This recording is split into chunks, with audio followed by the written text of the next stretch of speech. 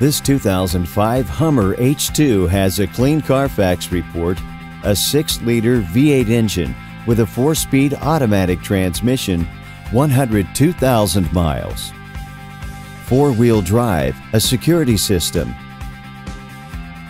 all terrain tires, a remote keyless entry, heated and power door mirrors, power windows, power door locks, a power driver's seat, leather seats, heated seats front and back, a center console, a nine speaker sound system, a sunroof, and much more. Call 803 427 5024 for more information.